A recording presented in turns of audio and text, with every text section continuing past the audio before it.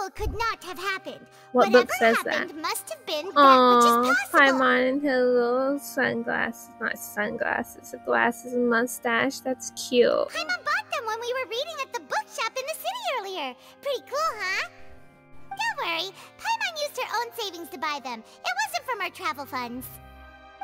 I think they look cute on you, Paimon. You have good taste, Lynette. That's the right attitude. Feeling depressed isn't going to help me now. I Paimon need to get back the to my lawyer, normal yeah. self. But with the guards watching our every move, it's going to be especially difficult Well, for Paimon Lynette and I I are kind of like own a duo, so I guess if I'm the lawyer, Paimon is my Good co-counsel. Good thing you agreed to be our attorneys. Thanks for that.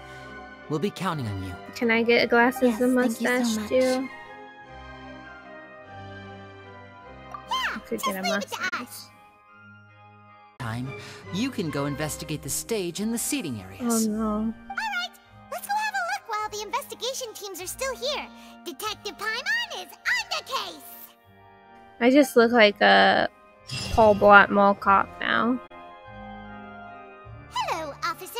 How's the investigation going? Far be it from me to brag, but I believe that Demoiselle's intuition will be instrumental in uncovering the truth. Sure. You wish to save a friend from false accusations, and we wish to unravel the disappearances. In this sense, our goals are aligned. Sure. Hmm, you have a point. You're quite the talker, aren't you, mister? And what about you over there? What do you think? You seem like you've got something on your mind. It's Kind of sus. He just moves his eyebrows. He doesn't speak. I have nothing to add.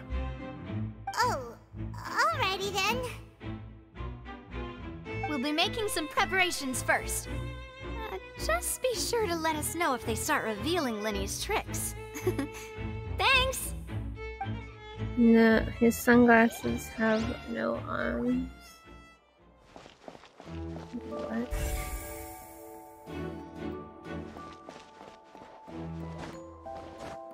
A sea slug. I'm not allowed out.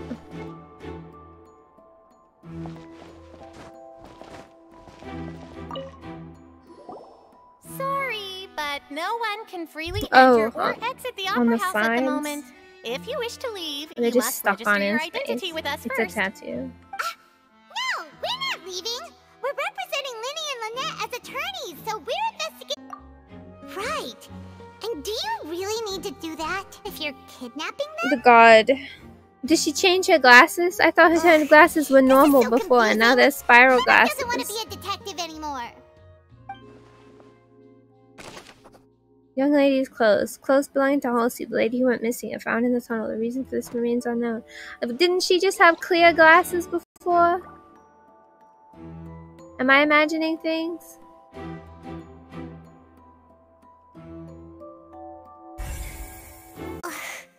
Paimon doesn't know where to start. We trusted you two. We based our entire reasoning on the assumption that you weren't bad guys. Well, why now you think they are bad guys just because they're Not to Fatui? set the wrong tone or anything, but Paimon's really mad. Well, Paimon's taking her I'm glasses very off. Are we, are we being serious now? I know you're angry, and reasonably so, but please, let me We, explain. we've got to take this case I know you've clashed with the Fatui several times before. I wouldn't be surprised if just hearing the word is enough to make you upset. Oh, Paimon's got her glasses back on. Paimon actually managed to say all that. Oh, wasn't it awesome? In other words, you believe that he knew nothing of the incident? That's right. Okay.